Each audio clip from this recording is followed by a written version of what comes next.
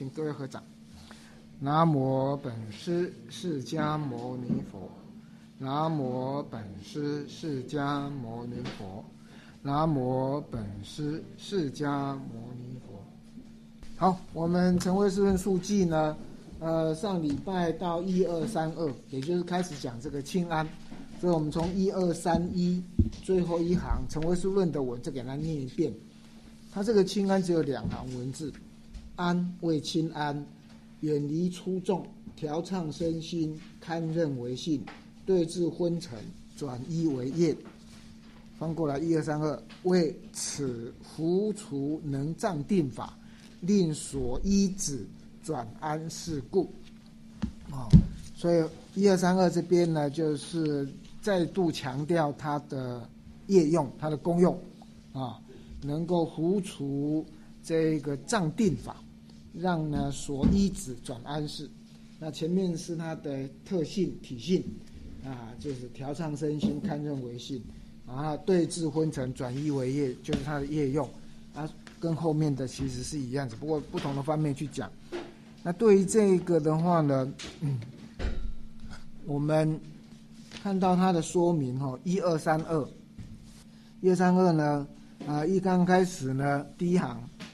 说叠诵解，为什么叫叠诵解？就是呢，呃，是维持三十颂里面写写个安呐，啊，所以他先把这个安先解释，啊，然后呢，就是安就是清安，这样所以叫叫做呢叠诵解，重新把诵的文字呢先讲出来，重新讲一遍，这样，所以这样叫叠。然后呢，轻而安稳，啊，那什么叫轻安呢？离重，然后呢叫做轻调畅。叫做安，啊，重新把这个清安两个字分开解释。那么他说有两种，两种清安，一个是无漏的，一个是有漏的，啊，特别强调无漏的清安跟有漏的清安。然后无漏的话呢，是除掉有漏的出众，这时候这个有漏出众就通善恶无记三性。那如果是有漏出众的话呢，就是特别讲的就是烦恼出众。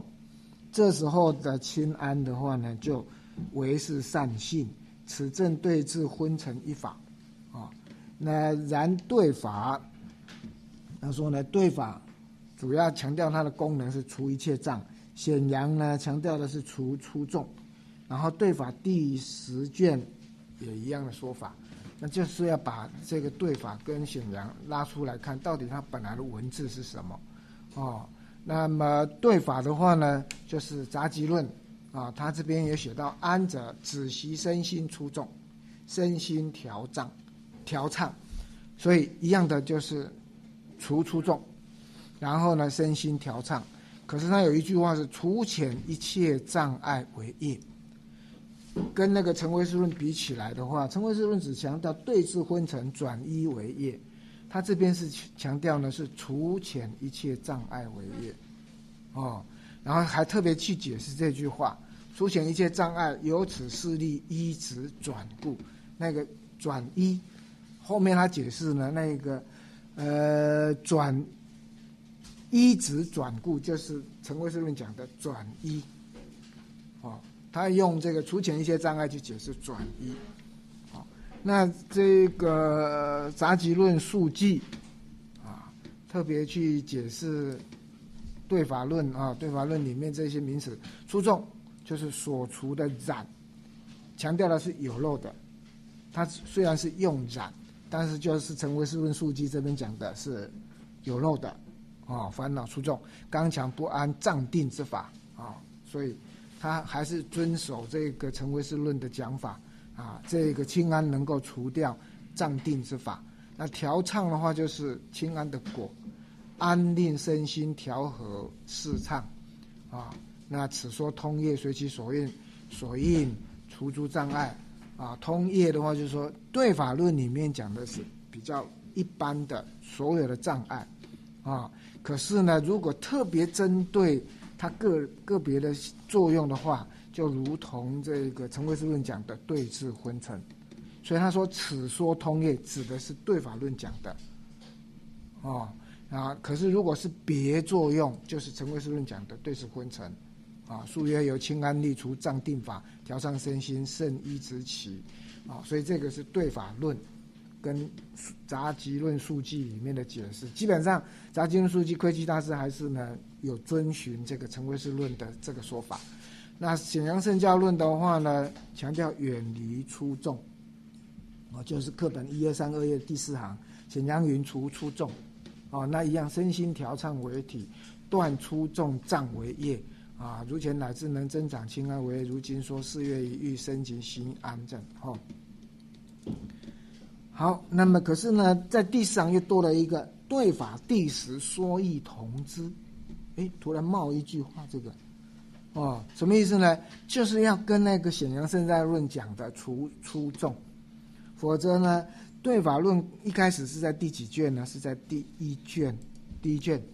哦，刚开始解释的时候是用这样的讲法，除遣一切障碍。可是到了第十卷的话，它的用词就跟显阳圣教论有共通的地方，就是呢，呃，出众所显能够除掉，啊，所以。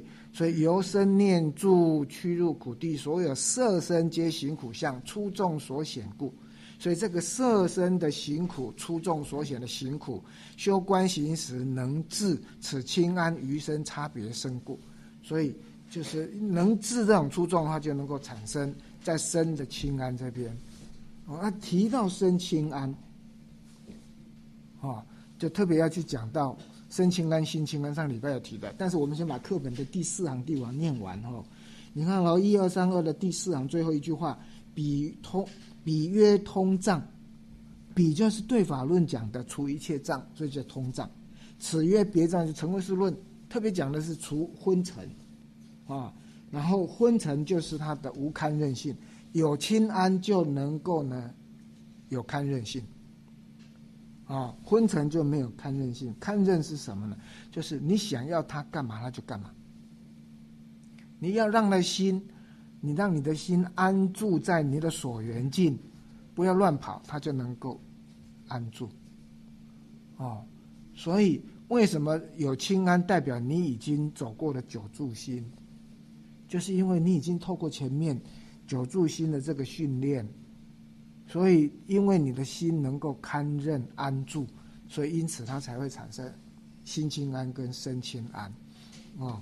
那么这个菩提道次第广论跟瑜伽师地论，啊，就是上礼拜提到了，说心清安先起来，身清安接着才起来，所以这就把这两个论提到这一件事情呢，引用在这边给大家参考。啊，《广论》的第十六卷写到：一内心调柔清安升起立故，所以你看是心清安，啊，这种内心调柔的心清安升起立故，接着引发身清安的因风大入身中，由此风大劝骗权身份生出众性皆得远离，诸能对治生出众性生清安性即能升起。啊，所以你看他这广论的翻译，还是没有离开这种藏传的用词的那种习惯，啊，如果一些师地论，他就不会写的这么不容易看。你看，能对治比心的调柔性、心清安性升起之后，由此生故，升起心的调柔性、清安性，有能随顺起身清安的风大。偏增众多大种来入身中，因此大种入身中故，能障乐断诸烦恼品生诸众性，皆得除浅。等于你如果把前面的形容词省略，啊，由此大由此大风大的大种入身中故，生的出众性皆得除浅。生的出众性是什么呢？会障碍。那个乐啊，乐断呐，应该说要断诸烦恼品。当你有生出众性的时候，就会障碍你那个断烦恼啊的那种那种生出众性，皆得除浅啊。所以这时候能对治比生出众的那个调柔性、生清安性，遍满身中，状如充溢。所以你看，它是先有心调柔性、心清安性升起来之后，接着呢，你感觉到身体的风风大增多，好像整个身体就变成轻飘飘的这样子。哦，是这样子，所以呢是身心清安先来，然后身清安再来。哦，然后所以你看这一个接着接着这个《陈慧士论述记》这边啊，也就是说第七行。为此扶除能障定法，令所依止转安事故，这就是转依。所以你看第一句话，解释转依的业用。有漏者扶，扶那个会障你、障碍你得定的那个，把那个障碍给扶住。无漏者除。什么叫做有漏者、无漏者？就是刚刚前面讲的。无漏的清安跟有漏的清安，有漏的清安能够服，无漏的清安能够除，除什么服什么呢？一切能障定法。那什么是一切能障定法？是烦恼，或者是受心所，受数数就是心所。但能障定，凡是能暂定的，就是清安所能够除的。但是这个地方特别强调的是昏沉，又经说此，但是昏沉，令所依身转去出众，得安稳故。特别强调的是可除昏沉。那既然第一句话解释转依业，啊，这个陈慧主任喜欢用这个转依，后面也花了很多文字讲转依，干脆呢，我们就先来了解转依是什么。转所依，啊，又做所依已转，变注转两种，转舍转得。一呢，指呢使得染尽迷雾等诸法得以成立之所依。所以转依就是转舍，他不是说转舍转得吗？转舍列法之所依，而。转而正得圣净法之所依，啊，转那个列法的所依，得到正得那个圣净法的所依，啊，如唯识中所说，由修圣道断灭烦恼障所之障，而正得涅盘菩提之果，这两个果，菩提涅盘，就是二转一果，或者是二转一妙果，这是修习的最殊胜境界。啊，上面讲的所断除的烦恼所知恶障，就是转舍之法。舍什么？舍舍烦恼障所知障。啊，得什么？正得涅盘菩提，转得。啊，所以转舍就是烦恼障所知障，舍掉。啊，得正得菩提涅盘。啊，那《成为师论》卷九对转移的解释两个说法。如果你要翻，就是后面的一九三四，啊，那个一是染尽法之所依，就是依他起性；转就是转舍，不说第一个是转舍吗？舍那个依他起性上面的片剂所执性；第二个转得依他起性当中的原成实性。啊，就不必去用那个什么烦恼障所之障，啊，然后呢菩提涅盘，而直接就用三性去做说明，转舍片剂所执，然后呢转得圆成实。啊，那白话啊，他们佛学思想就喜欢用白话，从三性上说明人的思想应如何自世间转向出世间，对缘起的现象不应执为实我实法。而应见到唯识的真性缘成实性，啊，那是转，那是转。一的话呢，生死与涅盘所依的唯识真如，啊，除灭除一唯识真如的生死，而正得依于唯识真如的涅盘。啊，这句话就简单讲，唯识真如给它省略掉，灭除生死，然后正得涅盘。但是生死涅槃都依着唯识，或者是依着真如，啊，那直接从唯识真如的迷雾上认识，说明如何自生死苦达到涅槃。这种转移都透过阿赖耶识中的种子的消长生灭来实现。啊，讲讲多一点，白话一点，转舍烦恼障种子，转得涅槃果；转舍所知障种子，转得菩提果。转烦恼障种子得涅盘果，转舍所知障种子得菩提果。这是第九卷，一九一刚说了一九三三四页那边，它其实只有三行还是四行啊？你看一下一九三四，好像我印象中是三行还是四行而已啊？四行多一句话，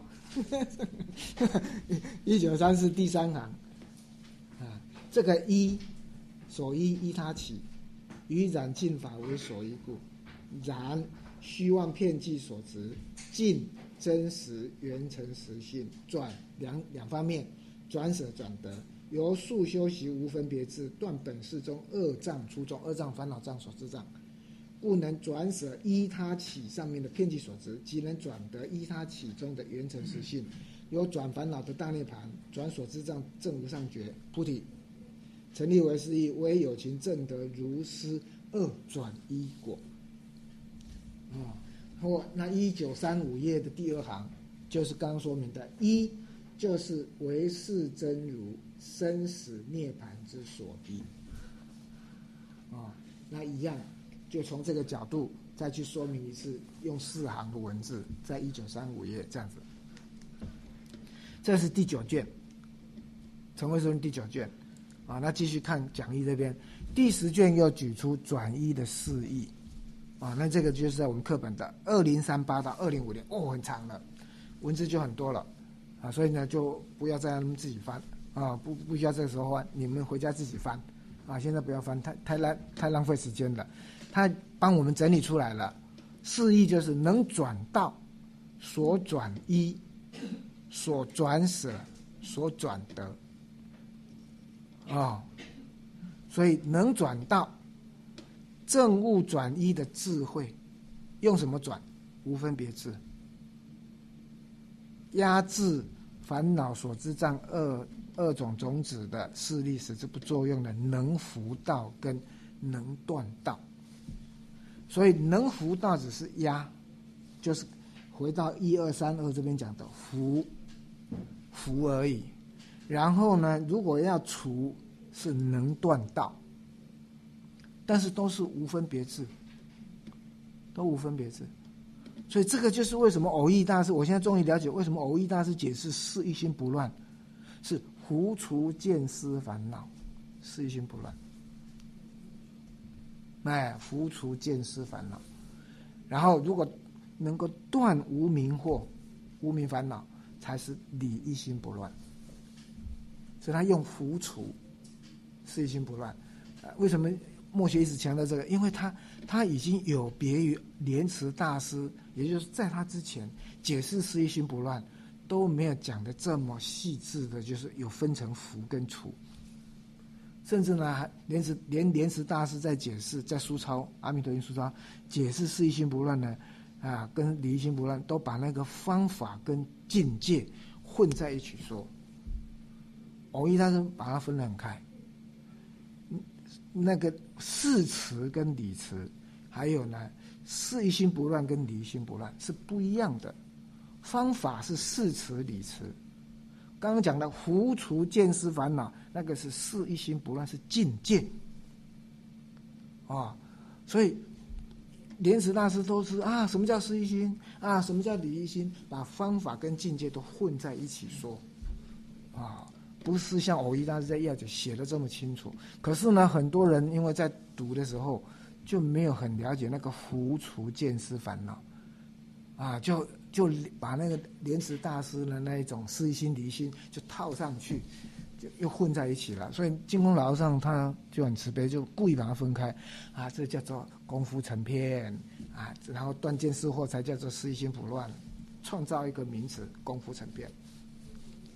啊，实际上莲池大师的要解已经有用到浮除见识烦恼，啊，那浮烦恼就是净空法师讲的，老上讲的这个这个功夫成片，好，好，这个是能浮道，能断道，再来所转依，转依时的所依，有保持染净法种子的此种依根本是迷悟法所依的。迷雾一的真如，就是第二种讲法。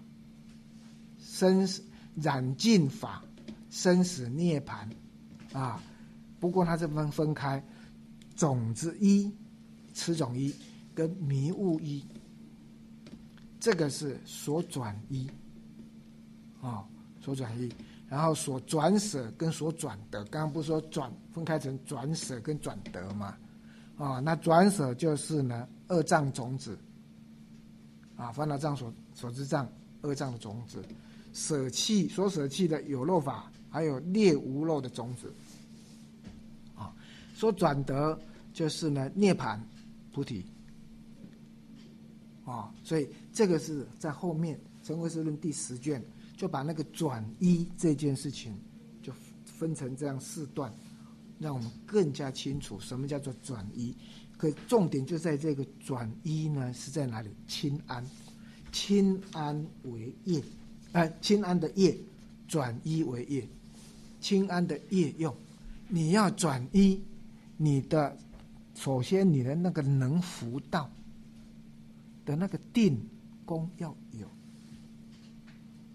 清安的业用才会显示出来。所以这个为什么要强调这个？修定太重要，你要转变真正的生死涅槃，没有从这边是得不到的。啊，你没有下这个功夫，最多就是种下善根种子，来生来世因缘具足再说。啊，好，那佛地经论啊，主要是从所转得来解释转一啊，那认为转一是法身之相。啊，就比较偏在一边而已。那设大圣论啊，依所得位之别，把转一分成六种，主要是用位次来分。啊，然后三无性论一样，依修行阶位分成五种转一。啊，跟这个设大圣论的差别就差一种。啊，那我没有详细去去查，但是呢，大概就是是这个意思了哈。第一个一分转一，啊，这五种啊，一分转一。这主要是呢灭我见我爱，得无漏相续，啊，主要是只有人我见这边，啊，人我人我这边我见我爱啊。第二个聚分转一，你看特别强调这是一分，你要聚分的话呢要怎样？人法二空，聚分转一要人法二空，啊，那。有了这个基础之后，再分成有动转一、有用转一。有动的话就是七地以前，还会有出入关；八地就不会了。七地以前有出入关，所以有动转一。然后有用转一，十地以前还不是无功用道，啊，不舍功用，所以还是说有用。你说那有没用的吗？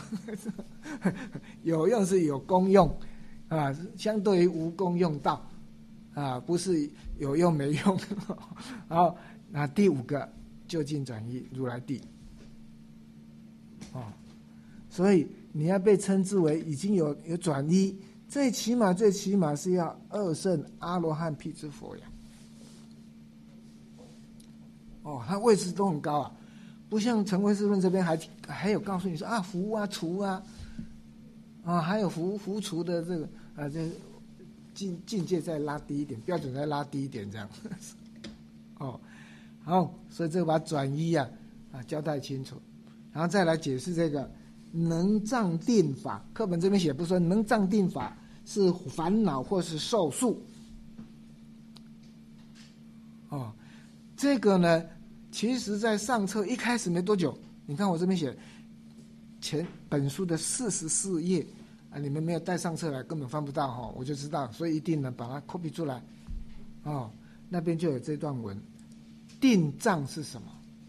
回答：巨石啊，会障碍你得定啊，通取染污心心所能障定的都算，心王心所，只要是染污的心王心所，啊，都算。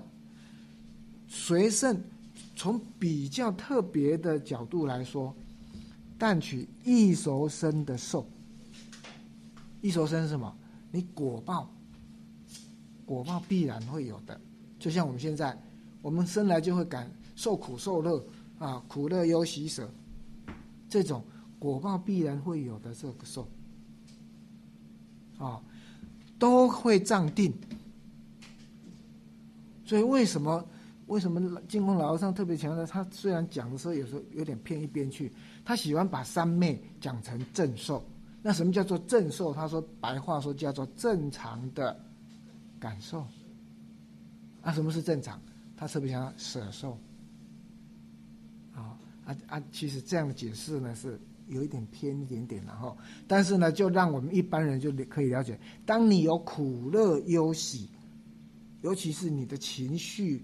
很容易起伏，抱歉，你一定很难得定。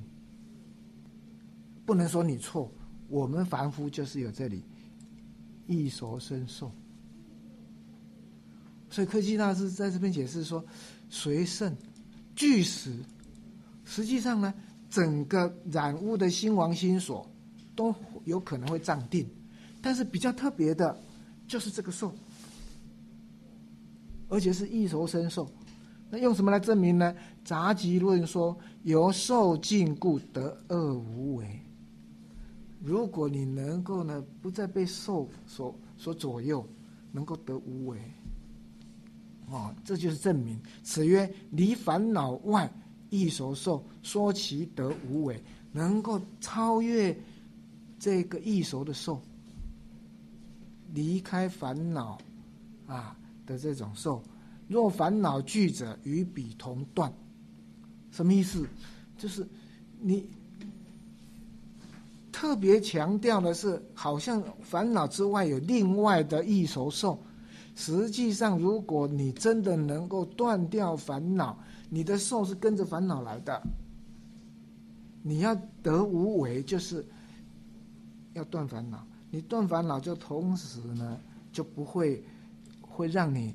让你呢没有办法证得定、证得无为的那种受，干扰你了，啊，所以他这一段说的，而且在四十四页就讲这么这么复杂、这么这么细的东西，我们那时候谁谁能懂啊？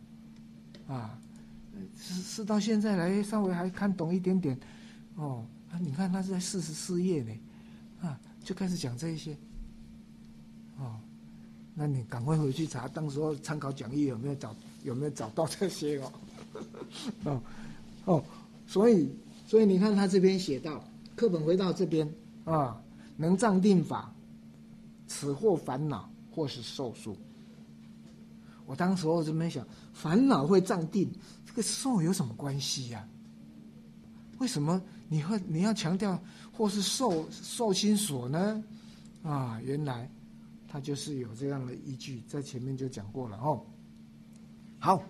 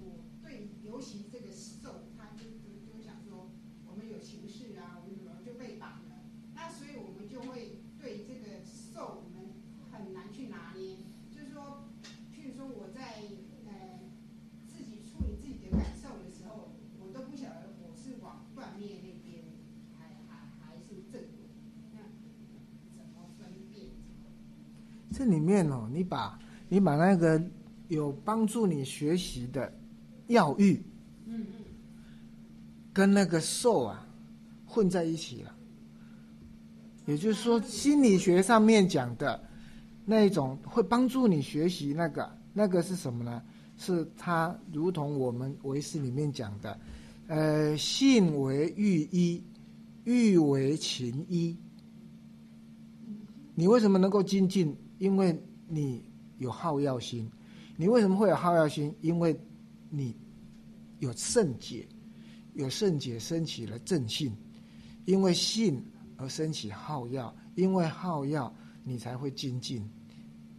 所以，你你刚刚讲的心理学讲的那个，它不是不是真正的受，是一般的人把把那种好药心就。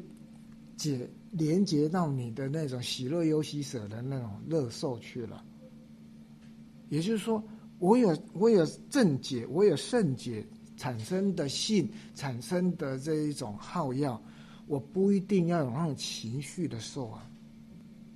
所以就是可以给他分的。因为因为我我们一直强调那个那个受为什么一定要分成苦乐忧喜舍五种？一个是对身。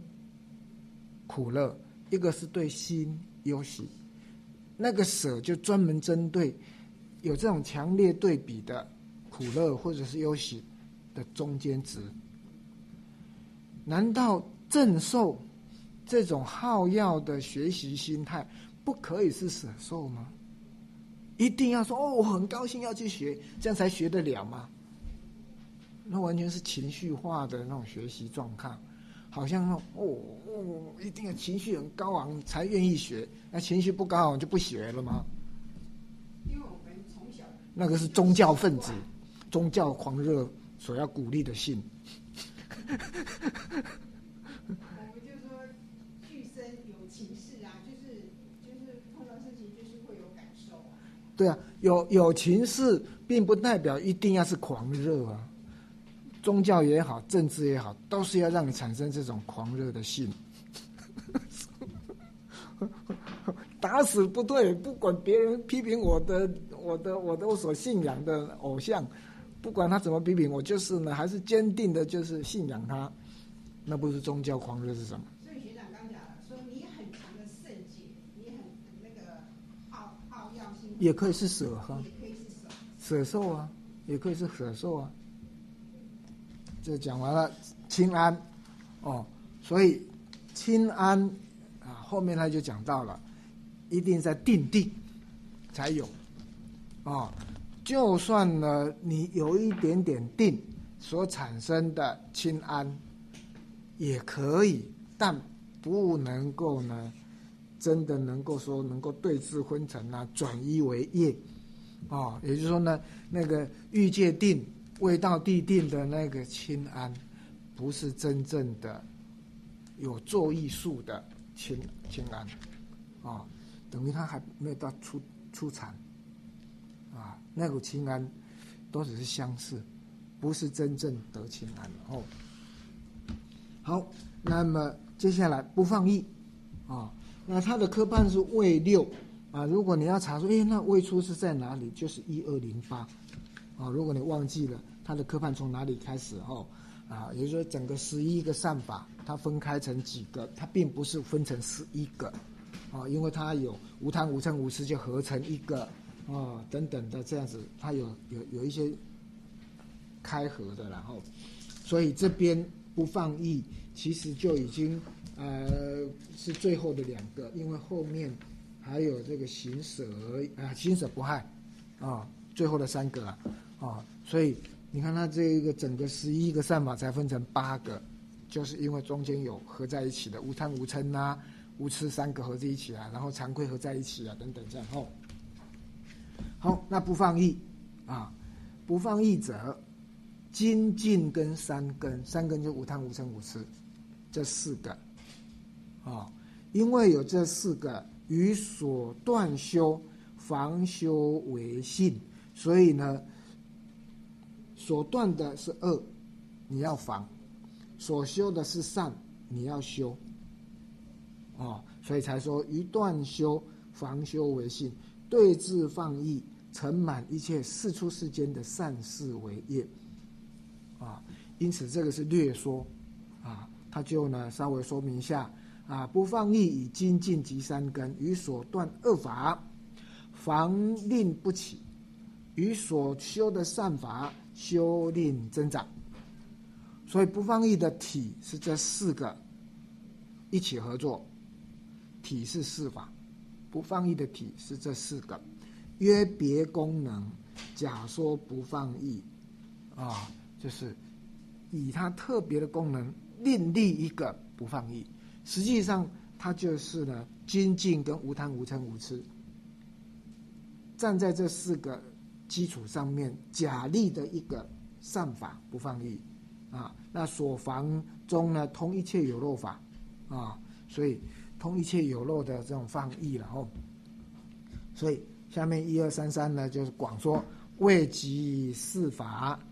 就在这四法上头，于断修事、断恶修善这件事情当中，皆能防修、防恶修善，啊，名不放逸，非别有体，无意相故，没有另外自己的体相，就是在无贪、无嗔、无痴跟精进这四个，啊，于防恶事、于修善事，啊，这当中能够离世功能的话，就没有放逸的作用。啊啊，离这四个的功能外，就没有不放逸的用。啊，所以才会说呢，它的体就是呢精进三根，精进加三根这样子哦。好，首先呢，他说呢，这个第四行，呃，广广说的话呢，先讲费力，然后问答辩。首先先讲这个费力，所以先力，力就是特别强调就是这四法。啊，非别有体，此非别有体，离彼四法没有其他的体相，体性无别，啊，无别用故，作用不殊，就是就站在无贪无嗔无痴精进上头去讲的啦，啊，那么双成无别体用也，啊，好，那么奇闻异了，问性等十法也都有防恶修善的功能啊，为什么特别在这四法上头立一个不放逸呢？啊，所以。下面的科判呢，就是哎废废语，虽性禅等善法亦有此能，而方比是适用为列。这个方字啊，这个方字，我特别去查汉语大词典，好多个解释哦，啊方向啊地方啊，当然都是了哈。但是这个地方用的是什么？第一并列，两者并列，两个并在一起，也就是说善啊、惭愧啊等等这些善法。比起不放逸，或者是比起精进三根这样子对比起来，所以第一个并列，第二个比较，啊，所以把它合起来并列比较，啊，其他的善法如果跟这四个啊一起并列而做比较，其他的善法适用为列。第一，它不是善根，非根；第二，不是能够骗测。非根就是它不是无贪无嗔无痴，不能够非骗测，就是它非精进，啊，所以不放逸，一直为什么一定要用这四个？因为它能够呢善根，又有善无贪无嗔三善根，又能够骗测，哦，所以其他的善法就不符合同时具足这两个条件，故非此一，啊。所以就不一样啊，所以你看，其余六法而方比四四四呃四个适用为而且列故，那什么叫做列呢？此四法中三法为根，精进片测一切能断能修善心，其他的六法呢就非根，也不能够片测，所以非不放逸之一啊，没有特别殊胜，就是这四个加起来就。对于这个不放逸，能够断恶修善，能够一直精进不放逸，就是在这里，啊。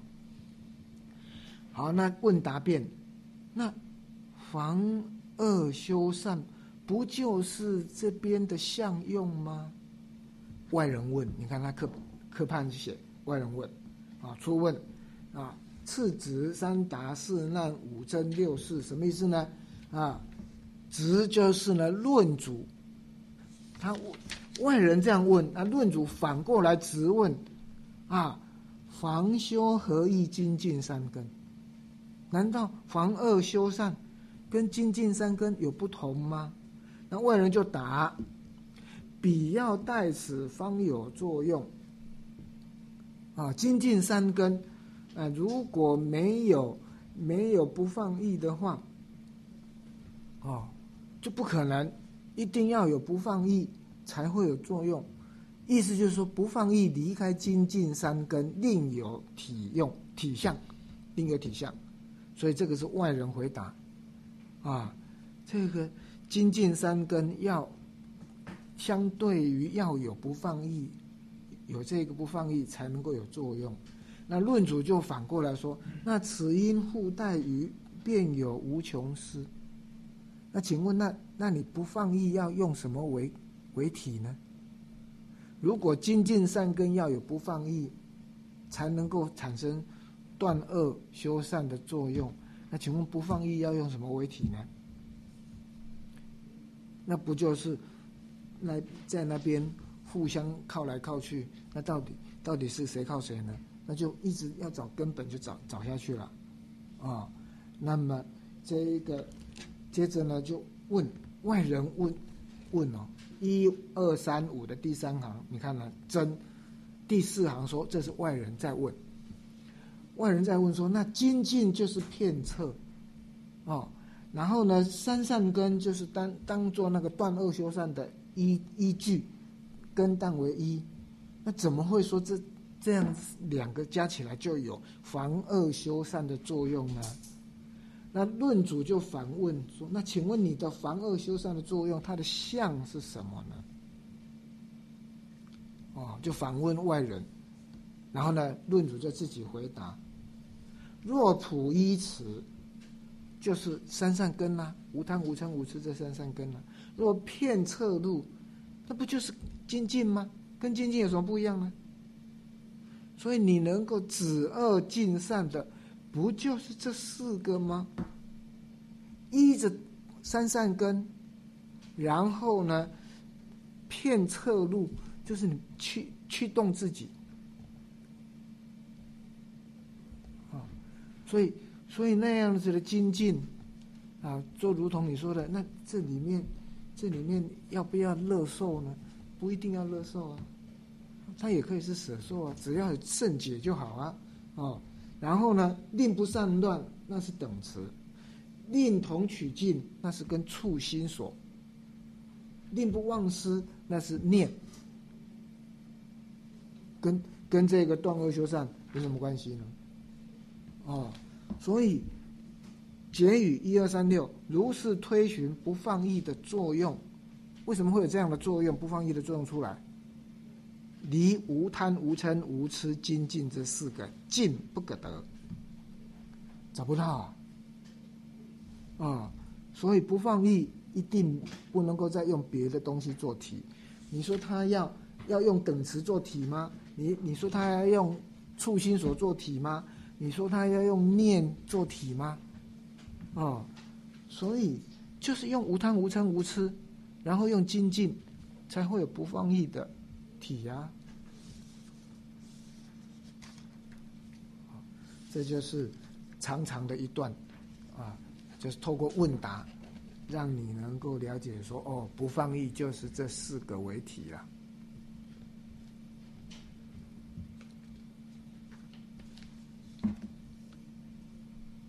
好，那外人问一二三四的第一行。啊，顺正理等外人问曰：“他顺便就把顺正理论里面有这段的说法，就当成是外人的问了。岂不防恶修善是此不放逸的相用？本身不放逸就是防恶修善啊，就是他的相，他的用啊，何必还要用别人的东西当正，当成是相体相，才会有防恶修善的用呢？”何用以为以事为体呢？所以他说这个观点就是一切别立有体，皆作是说，把不放逸另有自己的体，现在成为是论的观点是什么？不放逸的体是什么？就是三善根加上精进，他没有自己的体。但是呢，第一行顺正理论这边，就是不放逸有他自己的体。啊，不放逸就是防修，这就是他的体相，他的相用。那实际上，顺正理论它的讲法是什么呢？它的文字其实是这样：顺正理论呢，在讲这边不放逸的时候，专于己利，防身与义，放义相违，民不放义。啊，也没有特别讲到说。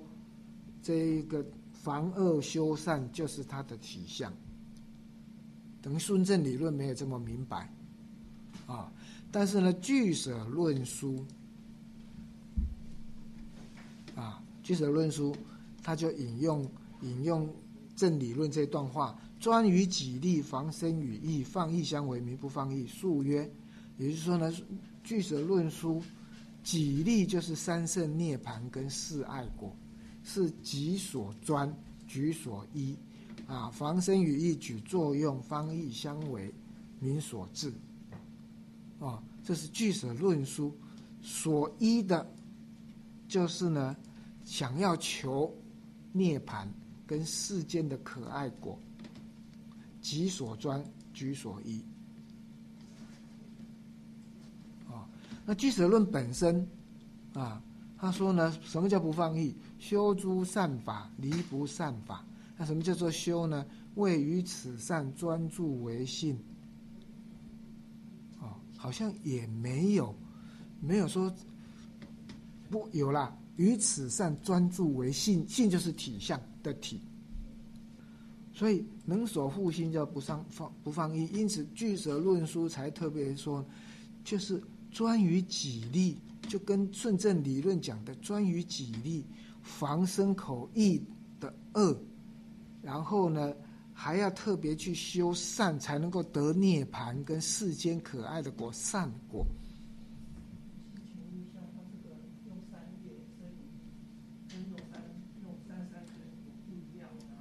啊，不一样哦。他说一样。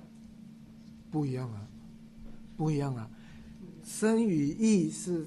是指的是业，三业，那三善根是特别强调的是心所，无贪无嗔无痴，不能够不能够说哎这三个是一样，因为透过身与意三业，这当中你有可能是无贪无嗔无痴心所，引导着三业去做动作，这样子不是等于相等，哦。好，所以呢，这个外人问呢，孙窥基大师这样写，好像也并不是呃顺正理论或是俱舍论本身的用词，但是有这个意思了，是有这个意思，啊，是是专专门针对呢，就是说，哎，有有这一个不放逸的自己的东西，他自己的东西是什么呢？专门呢，想要得到这个这三世涅盘跟世间的好善果，依着这个，你去防止牲口意三业的造恶，然后要去修善，尤其这边讲的要修诸善法，离诸不善法，这边就是断恶修善。所以他在俱舍论本身在解释不放逸的时候，就是断恶修善，而且还强调这边的修善呢要专注。要专注修善，才叫做不放逸。完全跟陈维师论定义是三善根加上精进，完全是不一样。他他有他自己的东西，因此陈维师论论主才会反问说：“那请问你的防恶修善跟精进三根有什么不一样？”离开无贪无嗔无痴跟精进，哪里来的防恶修善呢？所以你看他的第六行就写到：啊，汝之防修何以是法？实际上四法能防恶跟修善，不是吗？结果外人就说：“no no no，你你你这个四法啊，要待此方有作用啊。三善根加精进，四法无力不能防修，一定要有不放逸，能够让这四法起作用，才能够防恶修善。要待此中别有不义，令其四法方有防修之用。”所以不是以四法为防修体，而是另外有不放逸的体。哦，那那论主就反驳他说：“那因此不放逸要另外有体，请问他要用什么为体？因为你已经把防恶修善是它的作用，防修的用作用了哦，你是自己这样说喽？防恶修善是不放逸的作用，那请问防？”不放逸的体是什么？还要有别的东西吗？啊，所以你看，论主难曰：四法能防恶修善，这个四四体无力，要等待不放逸。不放逸能够防修，一因无力。啊，为什么呢？因为它还有所待，还要有东东西做它的体，就如同那四法。精进跟三善根，他要有不放逸作为作为支柱，他才能够断恶修善。啊，请问不放逸不是以他不是以这四法为体，还有别的东西，那就继续往前找，对不对？如是辗转有无穷失。若不放逸，别有自信，不待于法即能防修。如果你说没有没有没有不放逸本身。它有字体，不需要在别的东西能够防修，那这样这四法跟不放逸功能也一样啊，它也不需要再有不放逸，它它也能够防恶修善啊。凭什么你不放逸啊？不需要有别的东西，它自己就能够防恶修善？按人家三三根加精进，就还要等你不放逸才能够防防修呢？哦。所以，各位就可以了解这样的论辩哦，你就可以了解他们逻辑思考是很很细密了。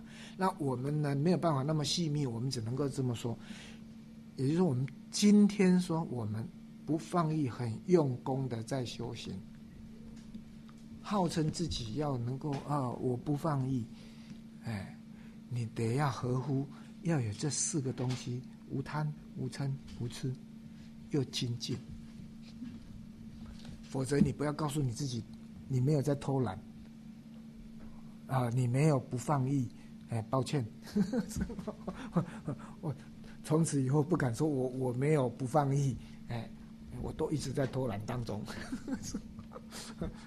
因为我没有四个连连结在一起：无贪、无嗔、无痴，然后又精进。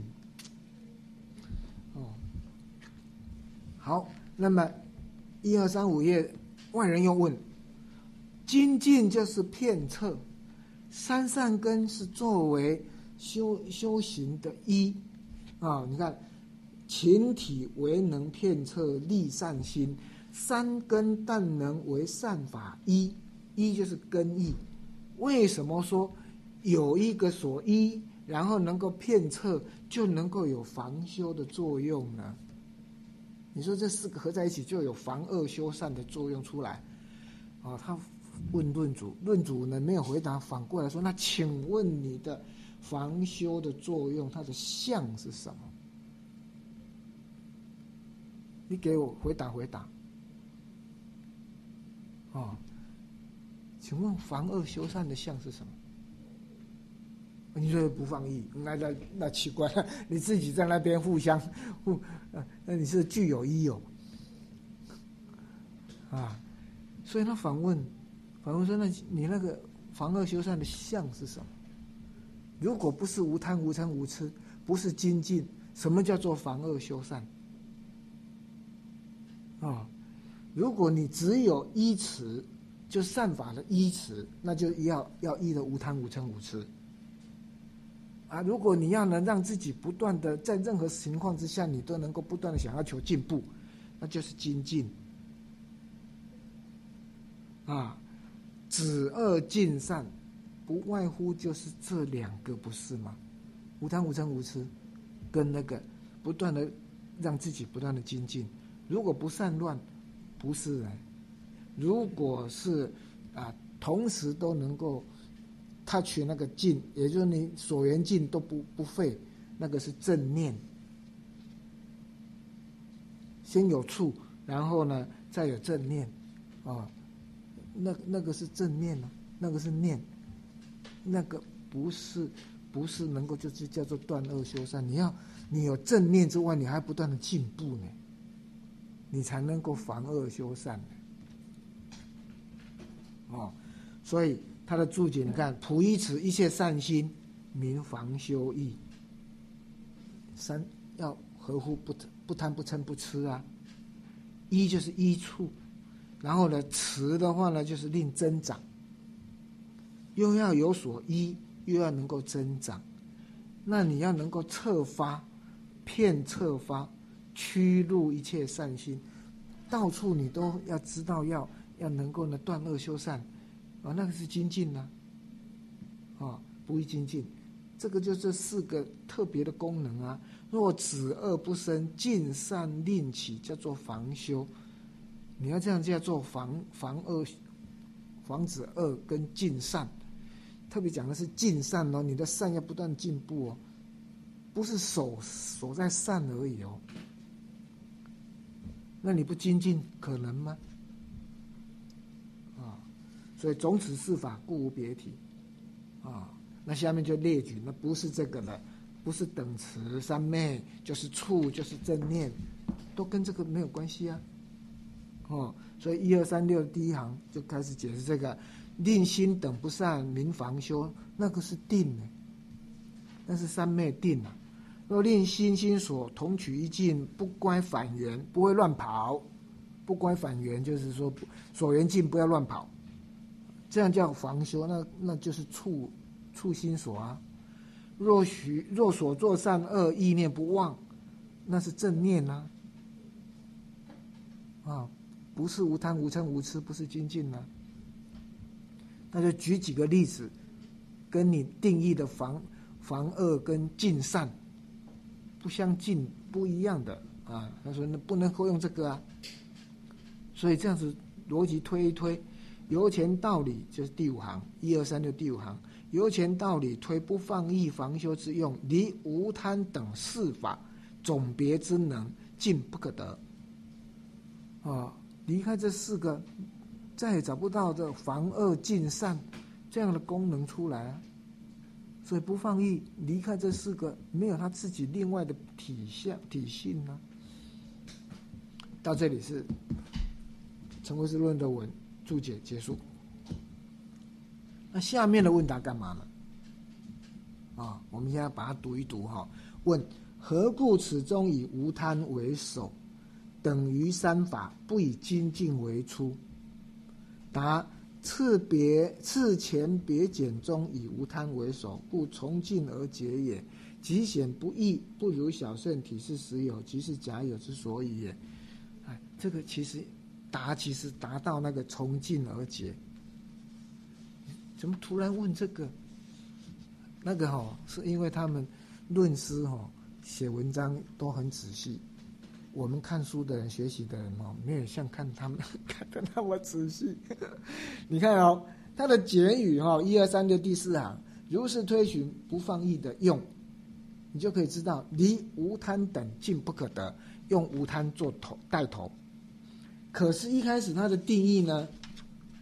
你看一二三二，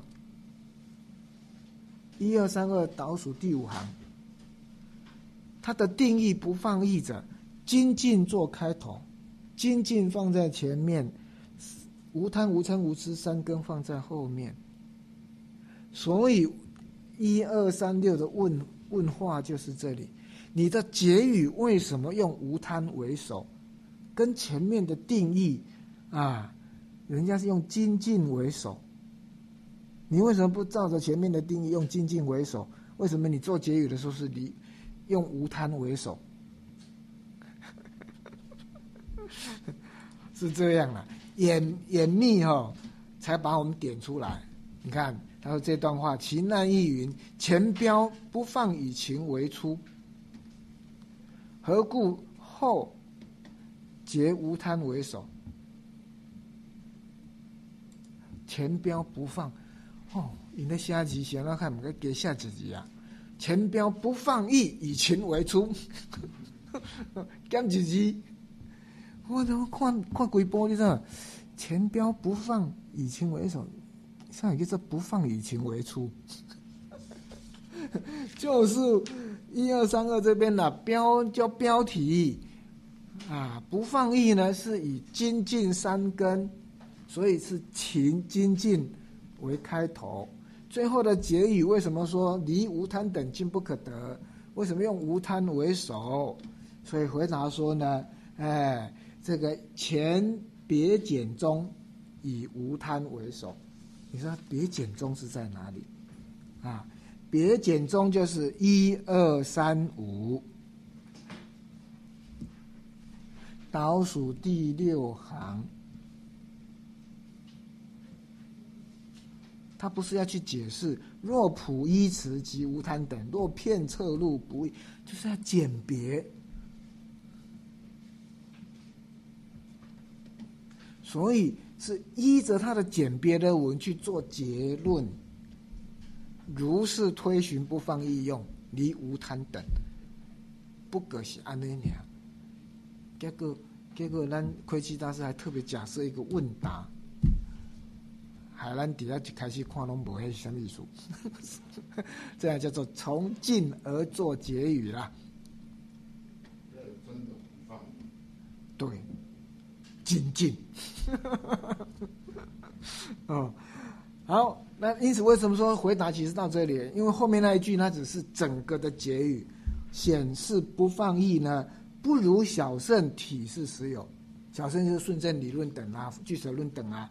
是不放逸有他自己的体，而成唯识论呢，跟三十颂呢的意思就是呢，不放逸是假有，是这四法无贪无嗔无痴加上精进合作建立起来的不放逸，所以这样叫做假有。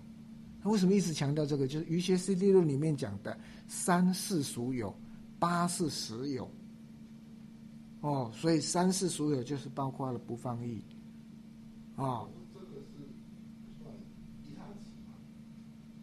应该也是啊，哎呀，因为他只是见，对，他他这样的讲法叫做世俗有或是假有，因为他要标明的就是哎，这个就是什么自信不自信的事情呢，啊，所以呢，我常我我上礼拜就这样，然后我们王淑芳学长还特别去摘录那个。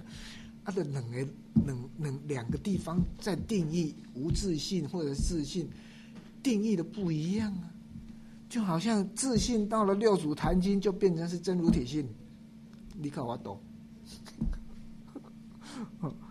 所以我以前刚开始在听老和尚讲的两密功能，哇，我们要相信自自自信哦啊，然后呢再讲这一些成为是论，哇，讲讲白法明论说啊，一切法无自信，讲。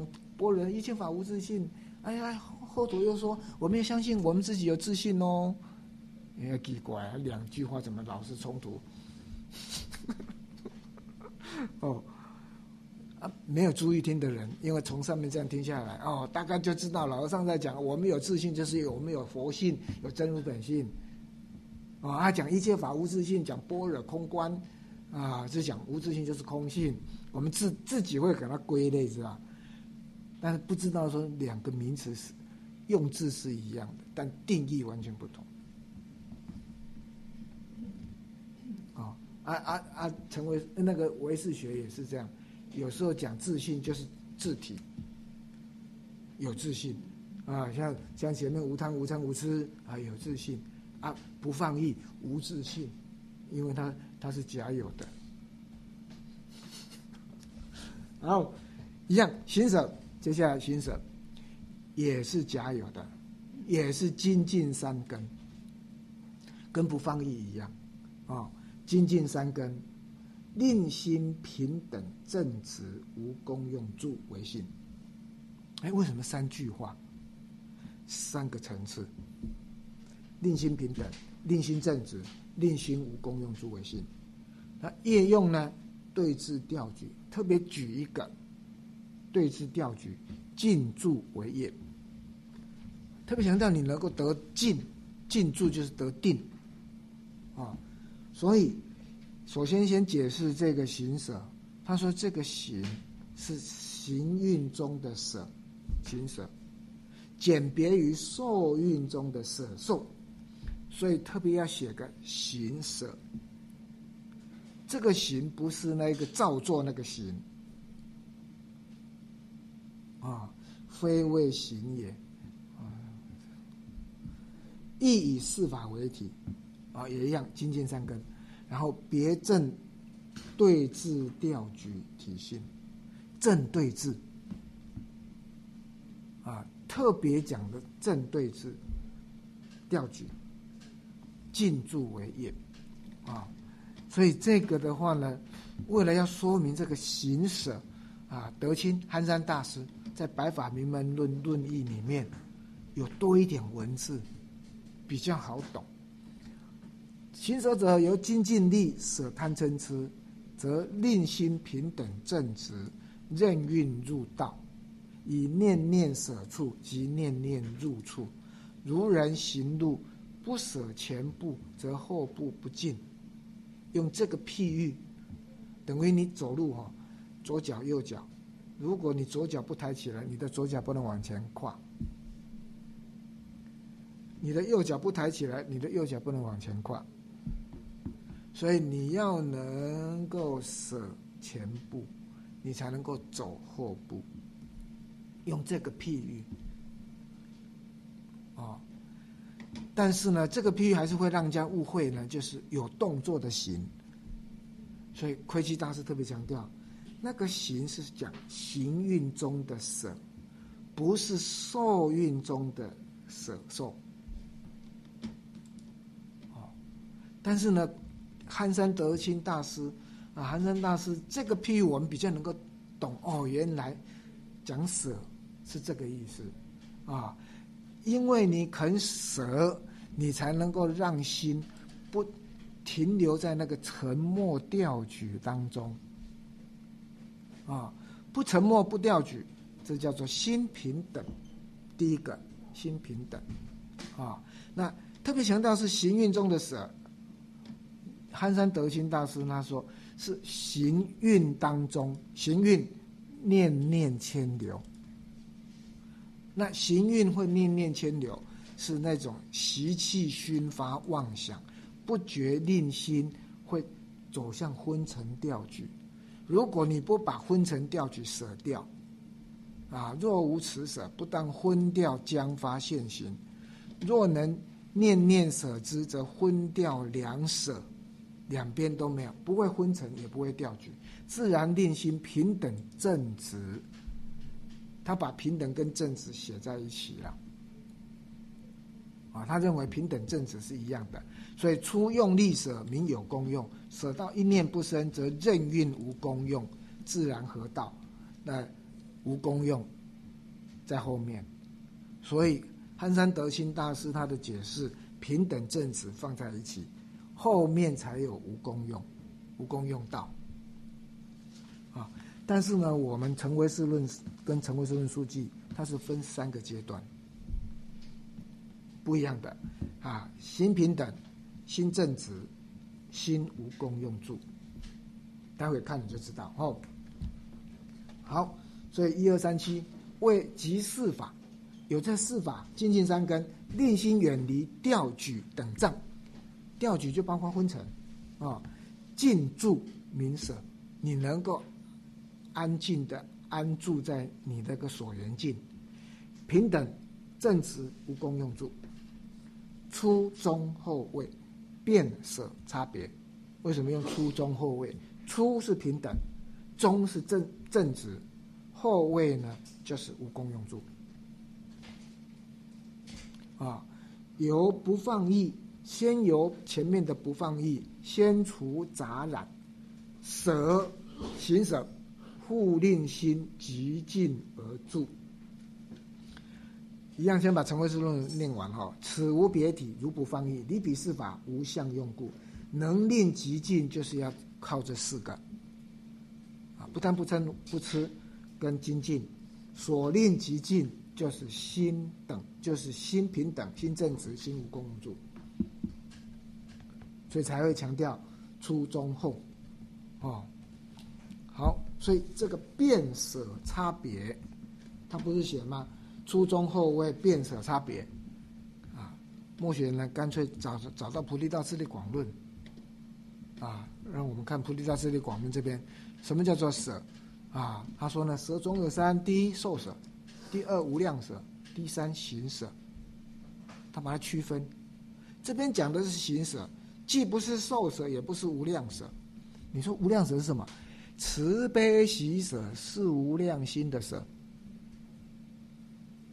它既不是受孕中的舍，也不是数量心的舍，它是行舍，啊，此舍的自信是什么呢？声闻地，有些是立论声闻地。什么叫做舍？为于所缘心无染污，心平等性，与子观品调柔正直，任运转性，及调柔心有堪能性，令心随与任运作用。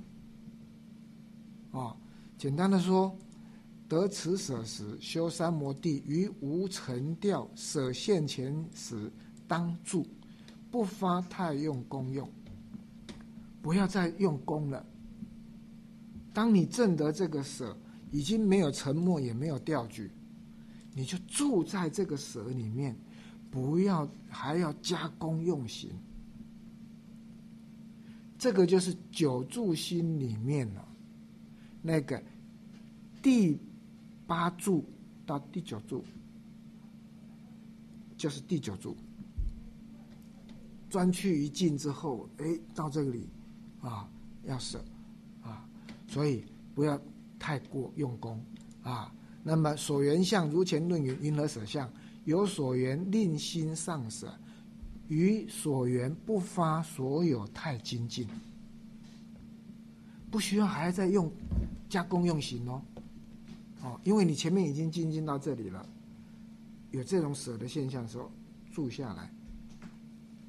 修舍之时，亦如比云：云何舍时？为此观品所有沉掉，心已解脱。你也不会沉默，也不会掉举。你说那昏沉，昏沉早在前面。沉默比昏沉的相更细。啊，你说那沉默跟掉。跟跟调举，啊，调举跟散乱，啊，应该这么说，调举跟散乱，昏沉跟沉默，散乱跟昏沉一组，沉默调举一组，昏沉散乱都是比较粗的，昏沉散乱都比较粗的。也就是说，昏沉自己可以察觉，度孤了，度孤啊。有时候现在啊，现在真的已经跟以前不一样。现在呢是看着电视哈，眼睛慢慢模糊哈，然后呢感觉我还有在看哦，好像某些情节还知道他在演什么，可是呢实际上呢待会呢他就完全眼睛就闭上了呢。然后突然醒过来的时候，哎，刚在演什么？刚我看到是什么？没印象。整个情节不知道，哎，为什么会发展成这样？但是你在你在那个正在那个那个昏沉的状况之下呢，你还以为自己有看着荧幕哦，有看着剧情哦，好像知道他在演什么。哦。这种现象在跟我们哈要准备睡觉了哈，真的躺在床上要准备睡觉了。不是，没有没有没有没有，我没有那么严重，我还去想剧情。我的意思是说，你快要睡着了，快要进入那种深度的睡眠之前，你还知道自己啊有在想什，要想想事情，甚至有在念佛。可是呢，接下来就都不知道了。可是那一段似乎还有思虑，还有思维。还知道自己在动起心动念，但是实际上，啊，你醒过来之后发现，要是完全睡着之前，我在想什么，没印象，完全没印象。那个是昏沉，那个不是沉默。你从沉默是什么？广论里面讲，沉默是心哦太沉，然后呢提不起力量，不清楚，没力。与所缘境，你不能够像昏昏沉那样完全不明不明白，不是？所缘境还是专注一境，但是呢，你所缘境虽然专注一境，但是不清楚。然后呢，没有没有那种向上提升的力量，沉默。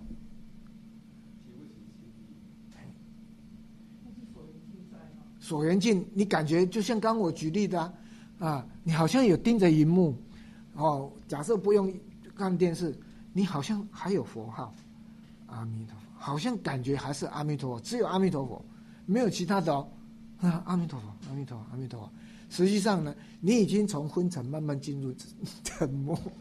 啊，说是进入沉默是好听话，哦，你已经从那个、那个、那个深度睡，呃，那个二度睡眠，要进入深度睡眠四度的第三度。那个西方他们讲说，那个精神不进到一个状况，他们常举那个开车嘛，开车。那有人好像就像您讲这个模模糊糊的情况之下，实际上他脑波基本上都已经进入这个睡眠状态，哎。就像您讲的。哎，也说说到这个，开车也会哦，哎，真的开车呢有盯着前面呢，知道有车子，除非哈、除除非就是要开快，你就自然赶快要注意了，哦，如果前面车子是挡住的，你知道说哈、我只要不要太冲得太快，啊，我就跟着前面那一辆，啊，然后保持一定的距离，啊，这样就安全了，你就会慢慢的哈、好像要睡着，但是你又没有真的睡着，真的是哦，哎，黑熊熊不一样，那个时候真的很危险，啊、所以我通常我发现自己有这个状况的时候，赶快啊，什么绿油精啦，或者吃个东西啦，啊，喝喝个水啦，啊，让让自己呢稍微再醒过来一下，哎，那那个就快要接近那个沉默的现象，但还是昏沉呐、那个还是昏沉。哦，沉默最重要就是那个心力停不起来。所缘境是唯一，你不会乱圆哦。所所缘境是一哦，所缘境还是你平常用的方法，但是那个心力提不起来，那个那个不是很清楚，但不是没有所缘境哦，有哦。所以沉默调举是但后面几柱心了，不是前面。前面那个是散乱，是昏沉。所以他现在是什么？止观品所有的沉默调取已经解脱，进入舍。这个时候呢，是好现象。也就是说，这个时候如果呢，你把它安住，不要再起精进用功。你看，不要太精进，不发所有太精进，你就让他住在这种状况一阵子，你就开始有心清安，接下来就有身清安。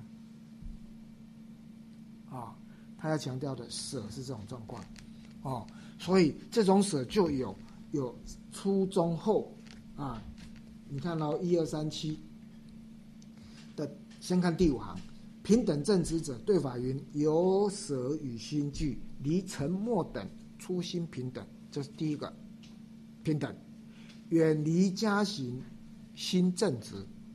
这时候你不需要再加功用行，叫做新正直。于染无却，无功用。初中后三个阶段。哦，先离离沉默，平等性，然后呢不需要加功用型，新正直，然后呢接着呢就无功用道。啊、无功用道的话呢，就呃，他们通通常都用一个譬喻啦，比如说那个船，你要靠岸的时候，你不能够还要一直那个马达还让它继续作用哦，你要关马达了。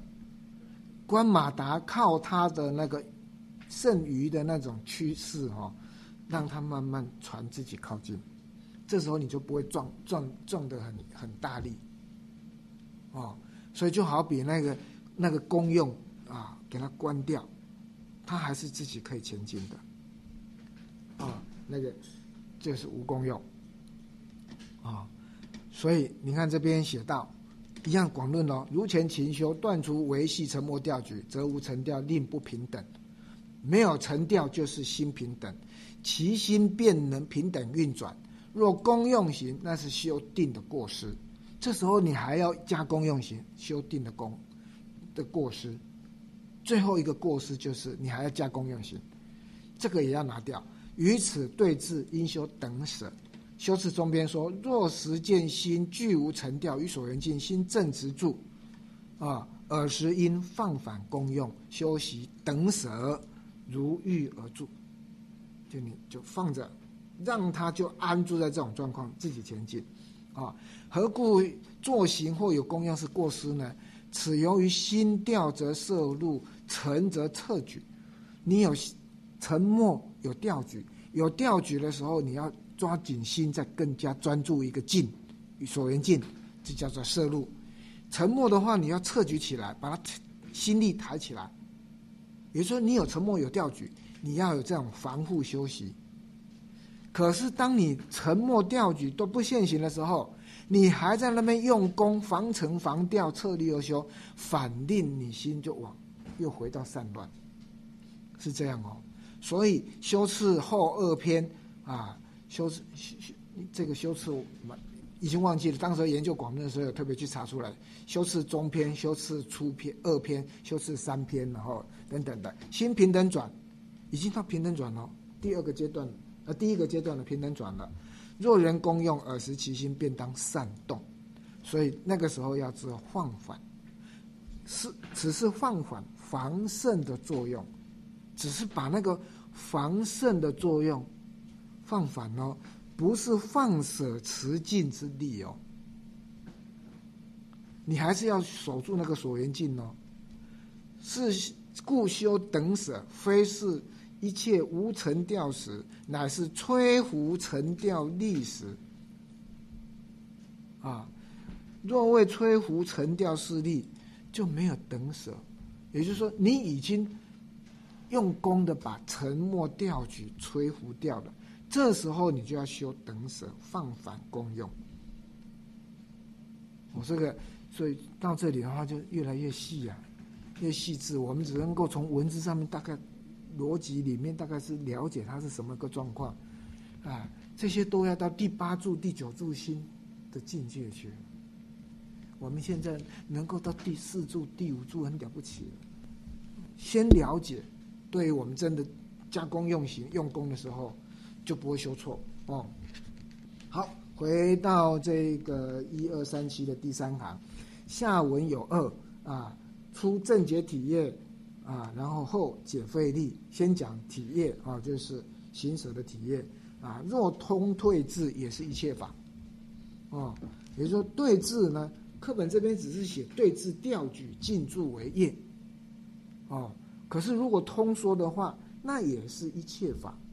所以他说，对法这边讲有舍相应，离沉默等不平等性啊，只即举通藏，就概括性的说法啊。所以呢，把对法这边你看啊，则则一指正勤，无贪嗔痴啊，一样就要有精进，无贪无嗔无痴，与杂染住相违，心平等性、心正直性、心无功用性为体。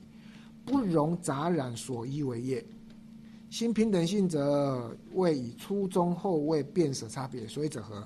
有舍与心相应，离沉默等不平等性，最初正得心平等性，由心平等远离家行，自然相续故，正得心正直性。啊，远离家行，正得正直，由心正直于诸杂染无切虑故，正德心无功用助心。啊，你这个就是把这三个阶段讲出来了。但是你说他对法云不平等性等，他只是举最初了，但是他这边也写了性平等性等者初中后变舍差别，含瓜性的概括性的讲法是这个，哦，所以他才会说呢，这个通胀。可是呢，陈文书论特别用的是对峙调举，专门针对调调举进驻为业。哦，所以第五行开始才把对法论里面的详细的初衷或列举出来。啊，所以这个就是我们先讲说，哎，这三段为什么我们断句的时候，在标点符号要把平等顿号、正直顿号、无功用处顿号。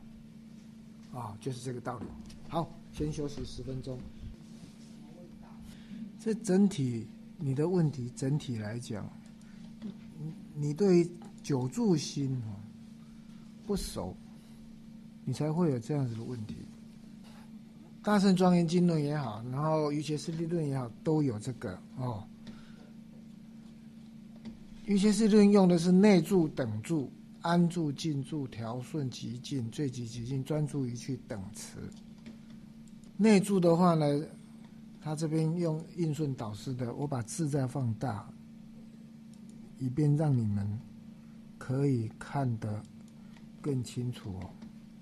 你学佛了，知道要收心，所以你往内收进来，啊，就像你知道哦，我要念佛，我要修属习。啊，这是第一个阶段。第二个阶段呢，他说：“你看啊，一刚开始摄心的时候，心是出动不息，像恶马。啊，可是呢，你常常念佛，常常念佛，啊，久了，多少也能够停下来。啊，就是我们常说呢，起起码能够维持个几分钟，都是只有佛号，不会胡思乱想。”啊接下来的话就是你刚刚第一个问题讲的，他几分钟以后他就乱想，哦，那么或者是呢几分钟以后呢他就开始昏沉。你说的那个第一个问题，只是要如何从第二个状态进入第三个状态，哦，那那些的话呢，每一个人。适合的方法，或者是每一个老师、每一个师傅、每一个上师教给你的方法不一样，基本上就是对治散乱，跟对治昏沉。哦，不管你用什么方法，只要你觉得有效，能够对治昏沉跟散乱，对你而言就是好的。但是你不要自己觉得好的，就要求所有的人修定的都要跟你一样，以为只有这一招才能够对治昏沉跟散乱，不一定。哦，但是呢，你要这样去对治，目的就在安住，要进入第三住。你看他说可以相续住，但不是没有思念而流散的时候，但是呢。之所以称它能够到第三柱呢，就是妄念一起，心一往外散，就立刻察觉到，立刻抓回来。前面续住的话是有时候，你比如说数息，我最喜欢举例数息，数到十三、十四，哎，不，怎么数到十三、十四去了？正言师傅教我们只能数到十，就要从头从一再数起。我怎么会数到十三、十四？还在数，往下数，一察觉，圣严师傅说：“你一察觉，不要在那边责怪自己，你就从头又一开始就好了。”哦，那这是散乱，啊，那昏沉呢？啊，是数到五，数到六，无去啊，就进入度孤去啊。哦，然后醒过来说：“哎呦！”我已经睡多久了？不知道，有可能你只是睡不到一分钟，但是你在用功的状况之下，你睡那个半分钟，睡那个一分钟，你都觉得，哎呀，刚刚怎么睡那么久啊？才察觉呀。这些你都只有在第二、第二柱的状况。你问的问题，第一个问的问题，都是在问如何从第二柱进入第三柱。为什么？你看人家第三柱是什么？妄念一起，心一往外散，就马上察觉了，马上能够抓回所缘境，马上就抓回来哦，就还是很乖的，一、二、三，接着继续这样数下去，然后维持个五六分钟，又又出现，又出现昏沉，昏出现散乱，啊，这种状况你要不断的练习，不断的练习。你的安住的时间才会久。你可以维持维持一炷香，一炷香四十分钟、四十五分钟。哦，进入第四个状况，静住。你看哦，静住是什么？不起妄念，不向外散失。妄念将起，欲先绝了，先为自负。知道自己快出状况了，赶快加紧用功啊！所以心能够安定住于所缘，不会远散出去，这才是第四柱而已。第四柱哎，我们要在禅期当中，要在佛期当中，起码要练个四五天，第四天、第五天才到慢，他偶尔某一支香会到这种状况。可是马上呢，又想起，哎呦，个冷刚我被黑困了呢。再两天，再撑一天就好，再撑一天，第七天就就就可以放松了。哦，呃，自己又想到这边，又又又又又从静住又回到 第一柱。啊，所以你看，这个是第四柱。平常你在家里自己自己在那用功。你就不一定就常常每一天都能够进入到第第四柱了。啊，你刚问的说啊，什么叫做心平等？什么叫修离离远离家行？那个啊那个，我告诉你，那个是第五、第六、第七、第八，你看到没有？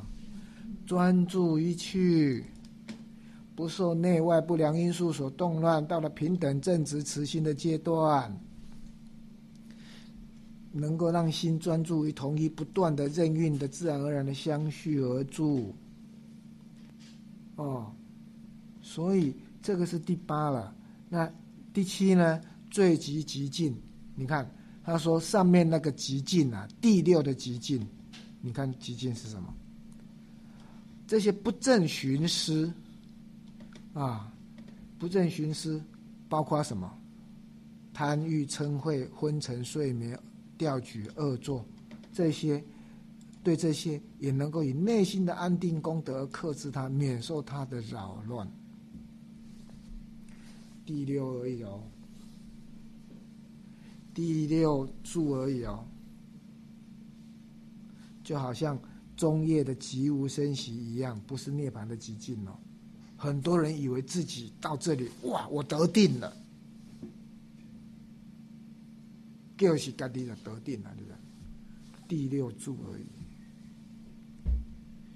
第七级最极极尽。他说上面那个第六啊，以尽自胡寻思，还不是没有限期，能够进步到寻思一起来，马上除浅，立刻除灭。那些不正寻思，马上稍微起来就拿掉，稍微起来就拿掉。所以五到七，你看五到七，降服烦恼的过程，心静而又静，又安静又清净，才是真正的要走到第八的专注一去。这个时候才可以叫做有平等。有正直，那后面那个无功用呢？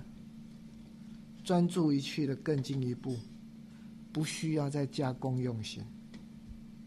你还要特别去察觉自己有没有不正寻思，有没有沉默，有没有调举，还要去察觉吗？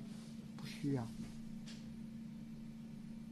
还要去防止吗？不需要，因为。需要的是已经在第七那边第六那边，第六、第七那边，第八这边已经是平等正直了，第九这边的话是无功用行了。哦，所以我我刚刚强调那个清安，你必须要在第九等词这边安住一段时间。你说一段时间是多久？万载，每个人不一样。论师也没有说一定的时间，但是他一他们论里面都强调，你在第九柱心要能够有一持续一段时间，因为你到这边是无功用道。什么时候会突然有身心清安、心清身清安的现象发生？不一定，你也不要用期待的心理。你用期待的心理，你又不是在第九住心了。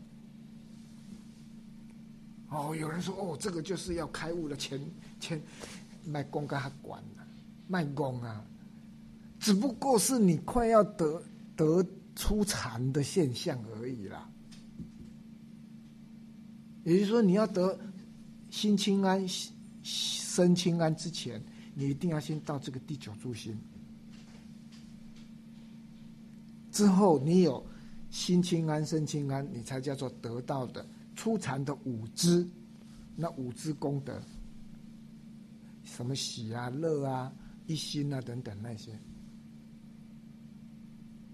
哦，所以你说，哎，我怎么什么？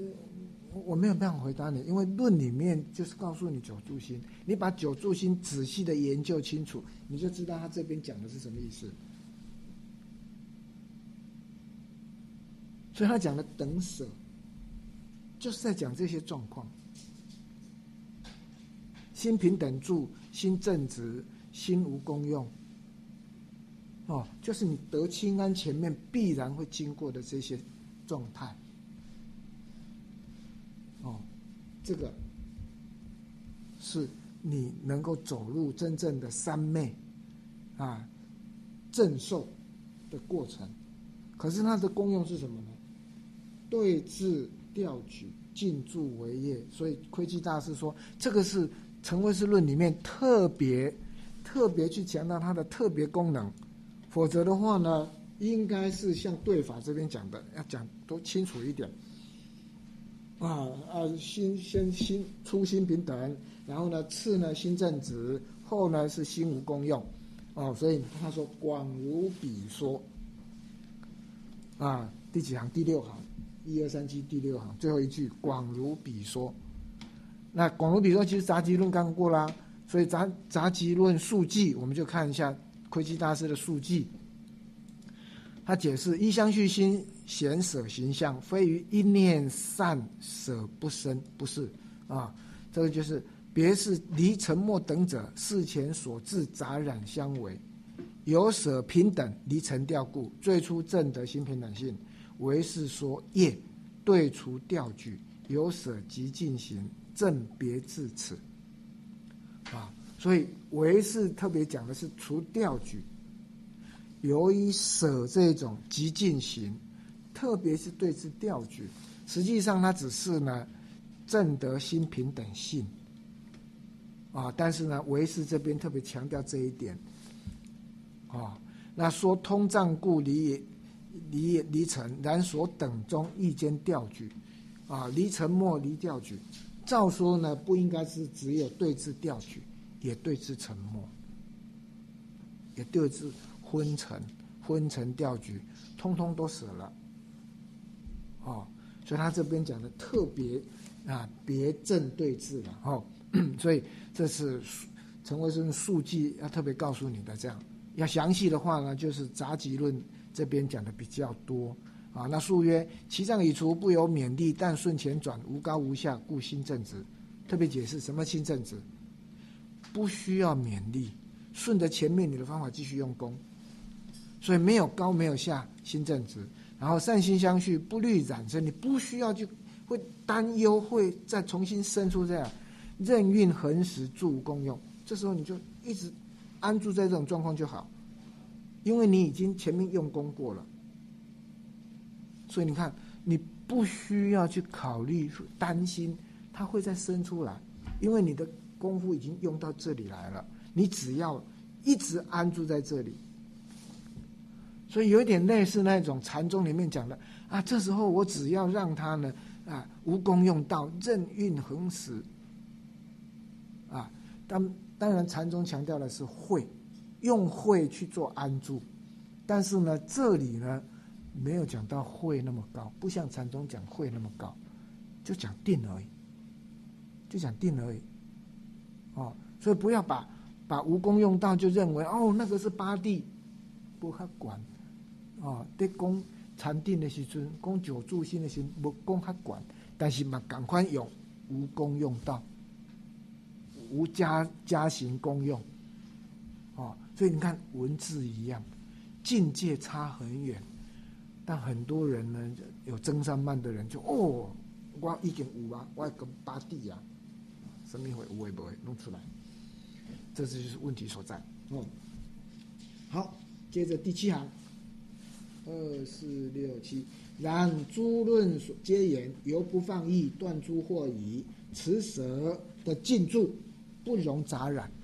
哦，也就是到了这种状况呢，不容杂染，就如同前面的不放逸是无间道，那个舍呢，算是更进一步的解脱道。哦。可以这么说，一个在前，一个在后，先有无间道，再有解脱道。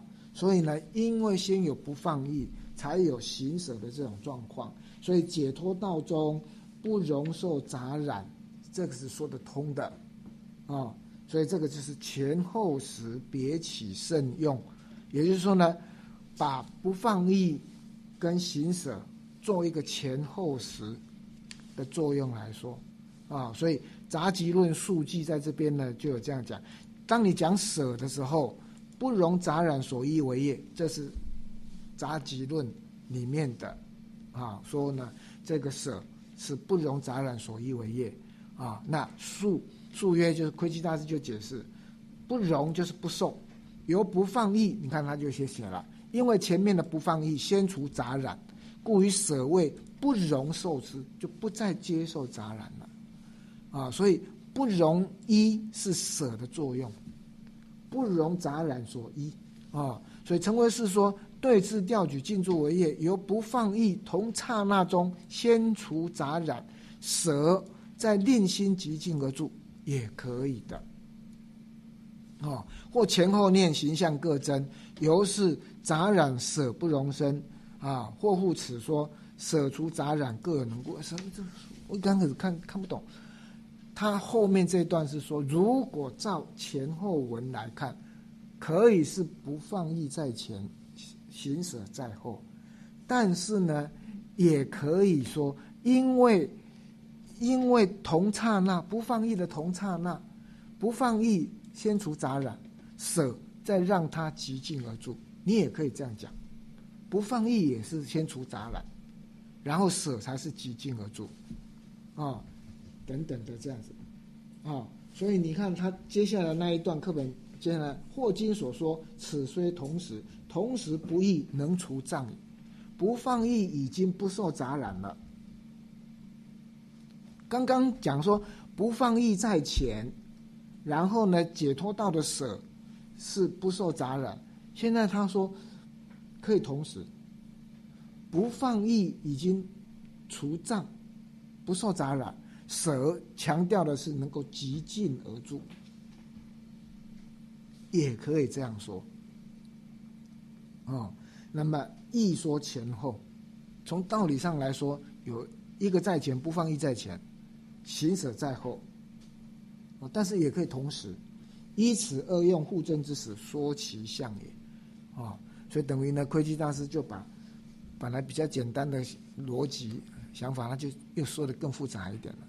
你可以说前后，也可以说同时，不放逸跟行舍，这样子。前后的话就不放逸在前，行舍在后。那同时的话呢，不放逸就是已经不容受杂染除障，然后呢舍强调心是静住，这样子。哦，可是呢，倒数第五行说此间具别障调举等取语法，啊，特别强调的就是呢。对治调举这样的障碍。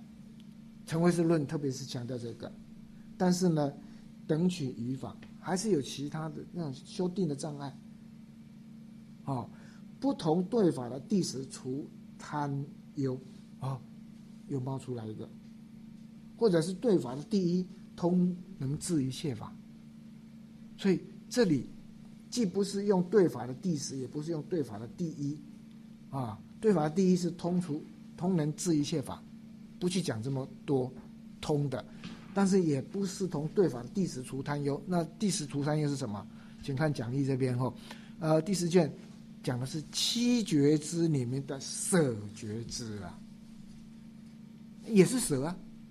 七觉之里面有个舍觉支，可是那七觉之里面舍觉支呢，舍是不染污体，永除贪忧，不染污味为自性故，那不太一样的。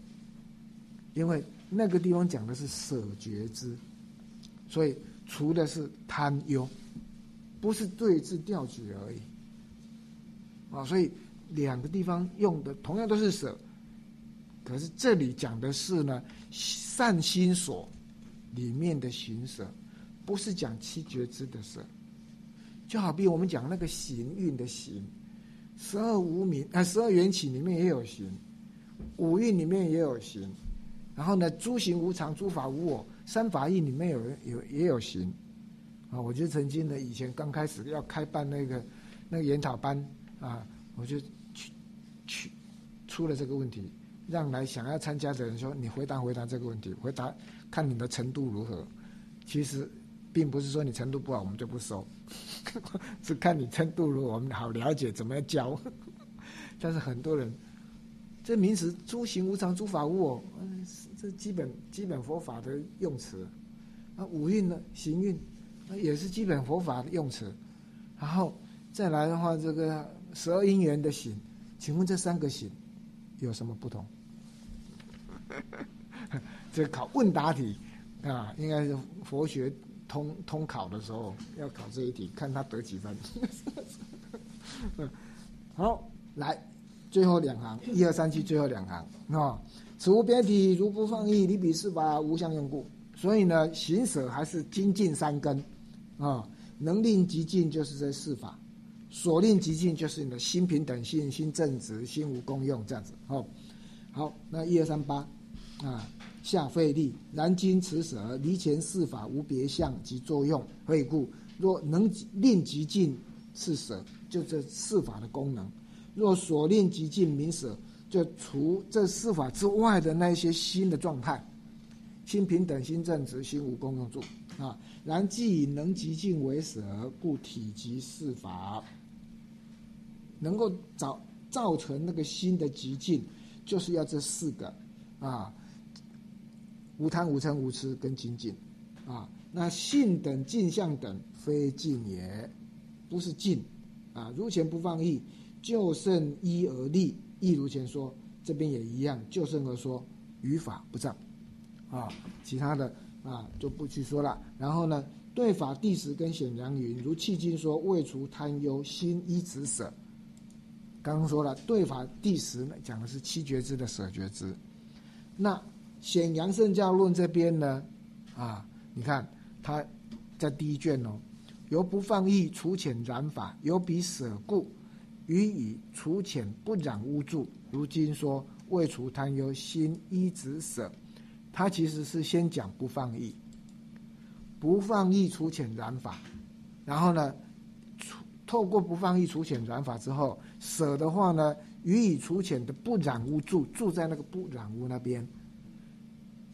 然后如今说除贪忧心一直舍，啊，所以窥基大师说这边的讲法，距离欲或无漏舍相来说的，啊，是从离欲的状况，除贪除忧。离欲的状况，或者是讲无漏无漏法，无漏的色啊，所以以忧根具亦有舍也。然烦恼具忧及贪，皆是欲界与善心等现象违反，说明除也啊，是从这个角度去讲那个那那个那个舍，因为这里面烦恼会跟着忧，烦恼跟着贪，都讲的欲界，所以这边是讲离开欲界，啊，是是这种这种除舍，啊，那对法第十是七觉之这个讲法，为曰无漏，你要修的是无漏道，啊，就刚刚说了啊。这个唯业无漏，觉知修果者，见道所断，烦恼永断。由七觉知是见道之体故。啊，引用这这这一段呢，我我也不知道为什么要引用这一段，但是呢，集成篇说你要解释这一段，唯业无漏就是呢杂集论本身的这一段话。哦，那见道所断，烦恼有永断，透过七觉知是目标修行的目标在这里。啊，所以舍觉知也是为了要断烦恼的无漏无漏道去说的，不是只有一个善心所的状态而已，是约那个修无漏道的舍觉知去说的，要断烦恼的，啊，大概他的意思是这样。好，以上这个就是行舍，啊，再来不害，不害啊。最后一个啊，善善心法，最后一个不害，于诸有情不为损恼，无嗔为心，就这一句话而已，无称为性，对有情不损恼，能对治害伤害的心，悲悯为业，能够让你产生悲悯心，是他的业用，为即无称，于有情所不为损恼，假名不害。是站在无称这个一无称做体，假名不害。哦，所以书记就特别强调，什么叫做与有情不损恼？非为不断命，不是讲不断命哦，是不损恼哦。不断命是无称，这里没有那么严重，这里只是讲不损恼。哦，是这个，啊，那因此你看第一行一二三九第一行，他说这样的话，既然是无称为性，干嘛要另外立一个不害呢？为什么为什么要再另外另立一个无害呢？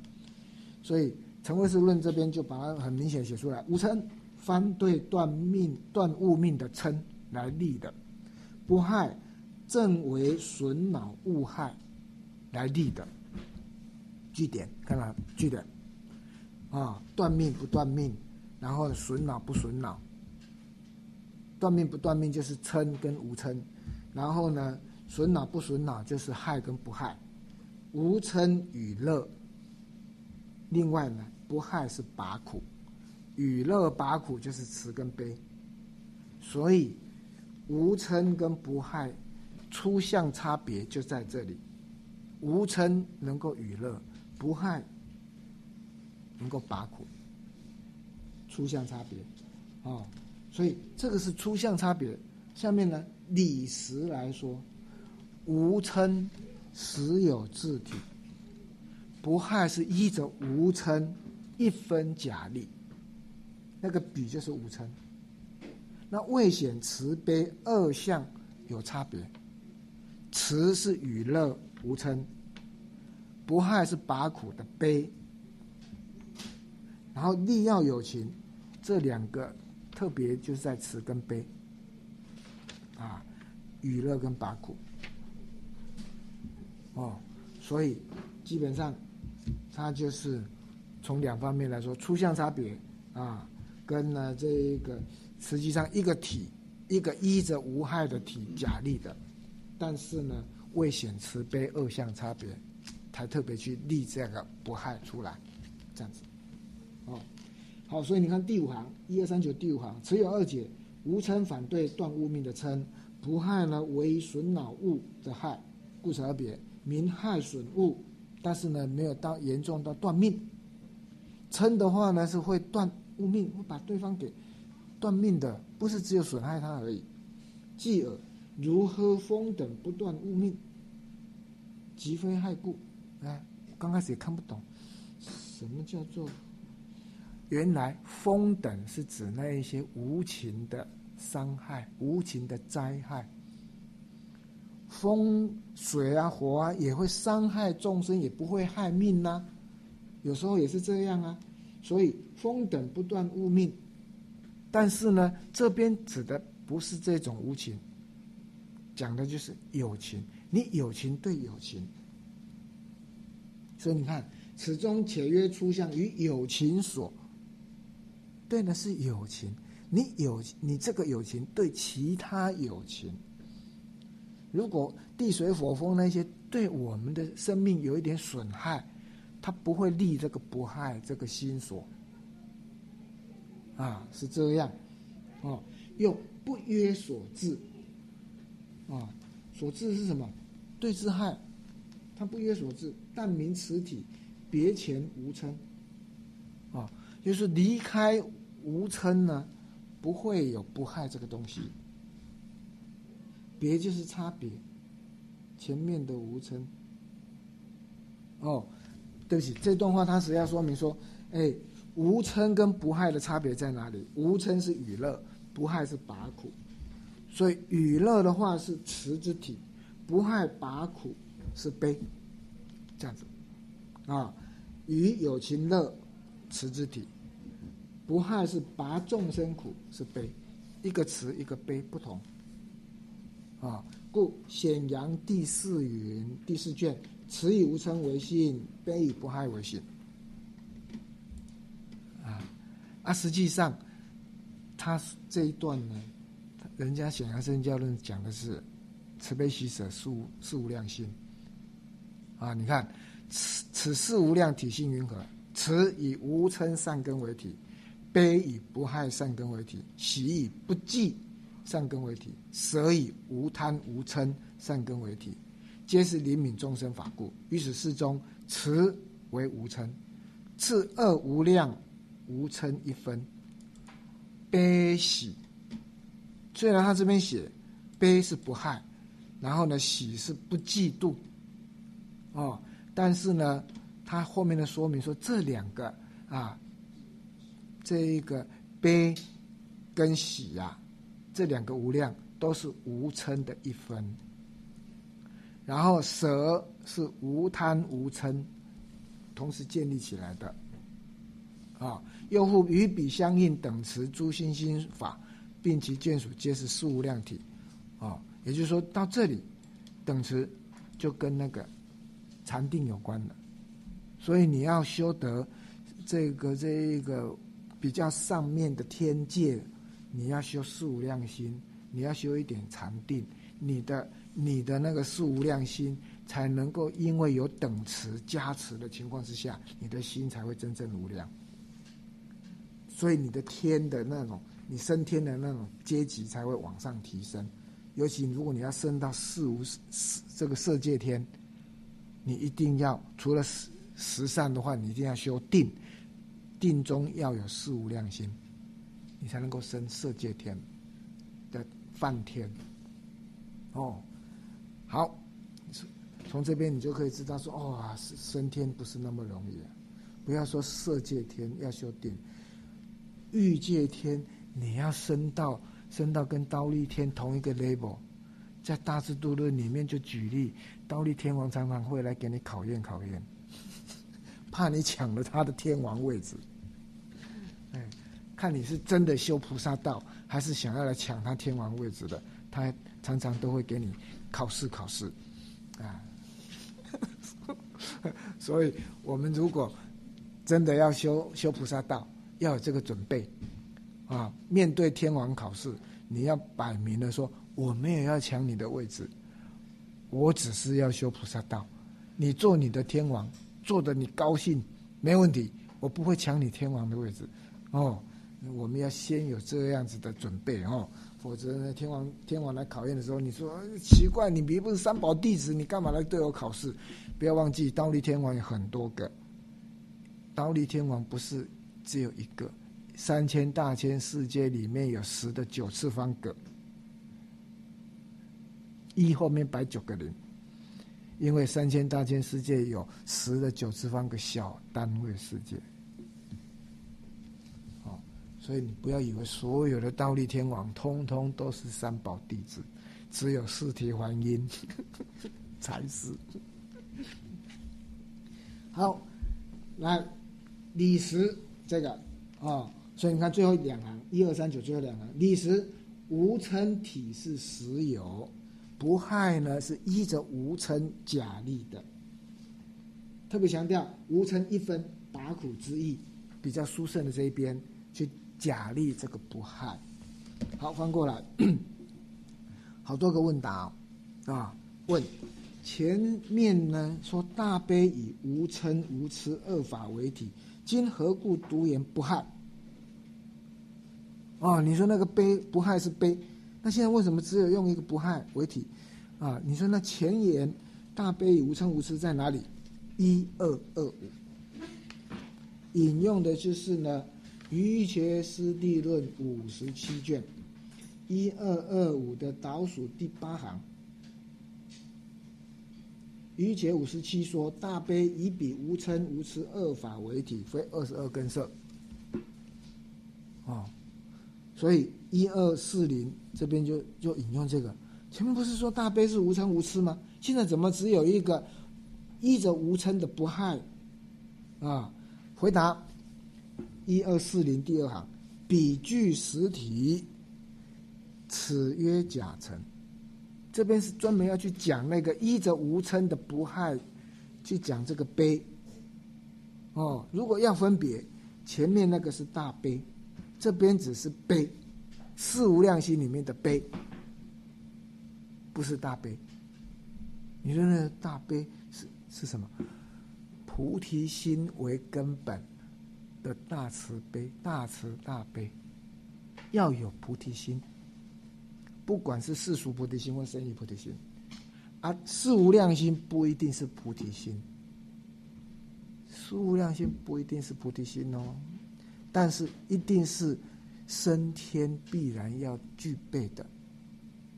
所以很多人把那种行善，看到众生好可怜，很愿意帮助众生的慈悲喜舍，那个四无量心就当成是哦，这个是是菩提心，可以是，可以不是哦。我没有说他一定不是哦。你说那为什么情况之下是不是？他的四无量心慈悲里面没有一定要成佛，一定要度众生出离生死，要度众生成佛的愿。他只是纯粹的要帮助众生离苦得乐。他没有要帮助众生成佛，自己也没有说我一定要成佛。因为这安内有差哦，有有差，差足多，差很多。你说你为什么要强调这个？这些话如果让慈济的人听到，他一定很不爽。但是我一定要说，金价差足多哦。好。再来第三行，问何不于无贪上面建立呢？答：未显功德中慈悲二相的差别啊，所以呢，不害是一无嗔假立，不是依无贪来立的啊。这个问答好懂哈。然后呢，再来一个问：诸功德等如胜处等啊，十八胜处等这些啊，这些八胜处啦，十一切处啦。也是以无贪为性呐、何以善终不依无贪之上，未显功德别故，别立一个假法呢？啊，为什么要特别这样子立一个不害的假法呢？哦，他说哦，一切功德依圣人是最圣，圣人当然是佛喽。哦，于圣人身中啊，当然佛为最圣，佛身之中利要有情是最圣，也就是说，佛的功德里面呢、是什么功德最特别呢？就是慈悲、利要有情，利要之中慈悲二种最圣，未显极圣功德的差别，要来凸显佛身中的最最殊胜的利要有情的慈悲功德。的差别，慈跟悲，所以一无嗔利不害，啊、不是用无贪去利，啊、这个只是他透过这样问答，让我们更加了解为什么要立这个了哈。然后显阳第二云喜是不吉，何故不立为善根？实际上我们刚刚看到了，我们引用显阳圣教论刚说了，不是不是第二哦，是第四卷哦。集成篇也说第二找不到这段文字，的确是在第四卷。显阳第四，喜是不计，你看慈悲喜舍的喜以不计善根为题，事无量心里面的喜不计善根。他说：“那这样的话，为什么不立他为善根呢？答：拔苦悲胜，别利不害，喜不胜悲，喜不会超过悲了，所以呢就不会立不计是善根，要无嗔。”不害才是善根，哦，这样子。好，这是一段。接下来一段，啊，破别有体，也就是说，另外一个说法，不害有体的，不害的体是什么？有说不害非即无嗔，而是它别有自体，就是贤善，是他的体性。哦，那论主说哇好，那如果照这样，那他的相是什么？啊，答还是不损恼。哦，你体是是贤善，那他的相还是不损恼，那无称也这样，无称也是不损恼。那请问，不损害的无称，跟你的贤善的不害有何差别呢？啊，位于有情不为损恼，慈悲贤善就是无嗔呢？哦，那你你怎么区分呢？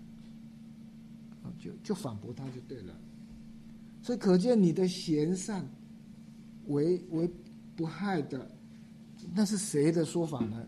回过头来一二四零最后三行，萨婆多斯正理论说啊等啊啊用个等字说贤善性啊有这个贤善的是一个人哦，你说那顺正理论真的有这样的用词吗？你看顺正理论讲。